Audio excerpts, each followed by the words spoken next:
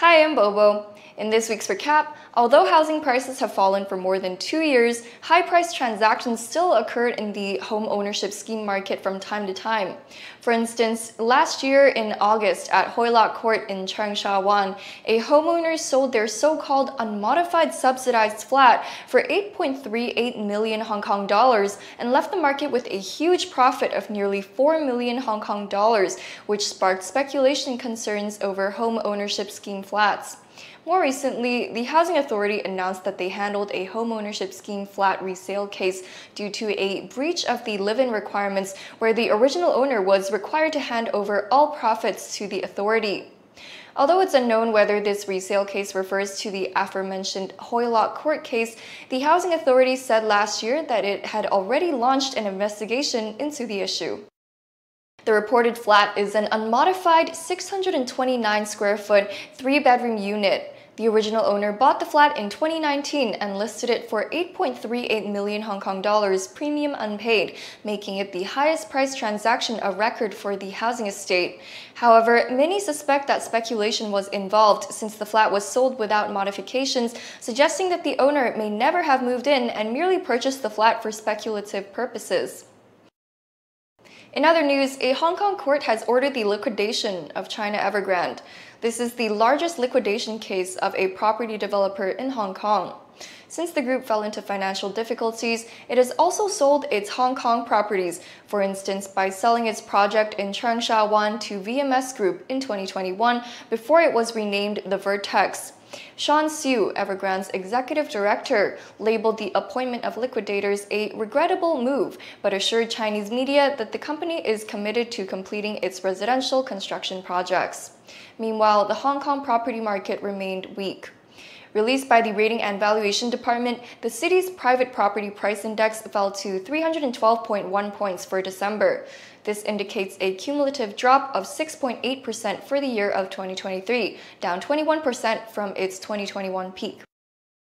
If we break it down by size, flats of all types saw price drops. Among them, small flats measuring 430 square feet or below recorded the biggest drop, with an annual plunge of 8.7%. This was followed by large flats measuring 1,076 to 1,721 square feet, which recorded a 7% drop from the previous year. However, the residential rental market continued to improve, rising for the 11th consecutive month to 187 points in November, with an annual increase of over 6.6%.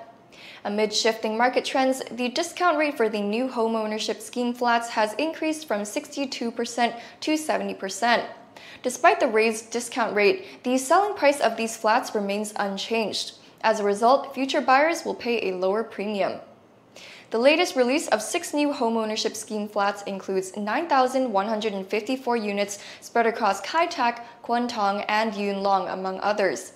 The most affordable unit is located at Long Tin Court in Yuen Long, with prices starting at about 1.48 million Hong Kong dollars. On the other end of the spectrum, the most expensive unit, dubbed the King of Flats, is situated in Kai Court in Kai Tak.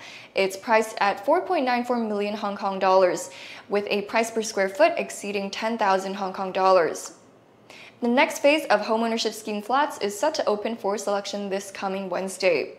Despite the Housing Authority's adjustment of the discount rate, current market conditions suggest that these new flats may receive a tepid response from buyers. As the Lunar New Year approaches, the market is anticipating stimulus measures in the upcoming budget announcement next month. Meanwhile, both buyers and sellers are adopting a wait-and-see attitude.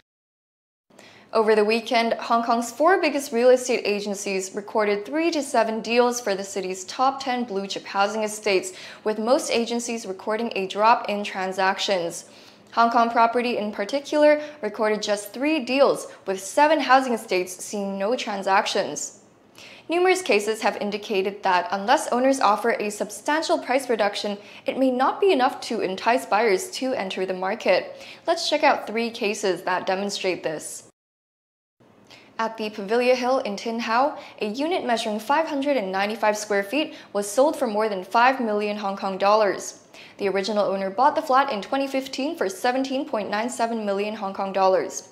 Initially priced at $20 million, the asking price was later adjusted in response to declining market conditions. The flat eventually sold for 14.5 million Hong Kong dollars or about $24,300 per square foot. With a cumulative price reduction of $5.5 million, the original owner lost $3.47 million in the transaction.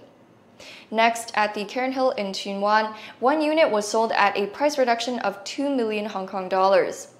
This was a middle floor three bedroom unit in Block 12, measuring 948 square feet in size.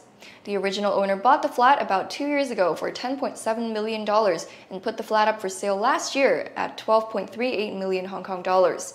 The flat was eventually sold for $10 million at about $10,500 per square foot, and the original owner lost 700,000 Hong Kong dollars. Finally, at Grand Horizon in Tsing a two-bedroom apartment sold at a price reduction of over 1 million Hong Kong dollars. This was a lower floor unit in Tower 5, measuring 511 square feet.